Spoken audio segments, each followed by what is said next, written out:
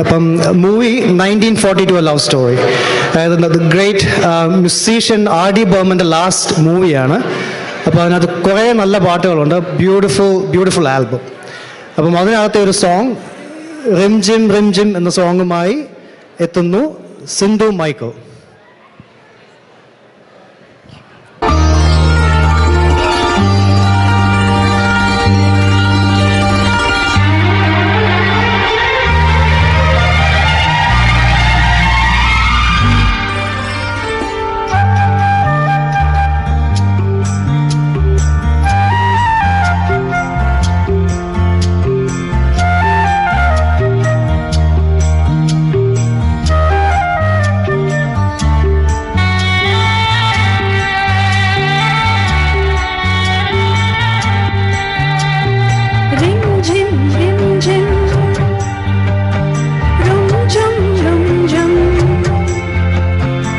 Baby.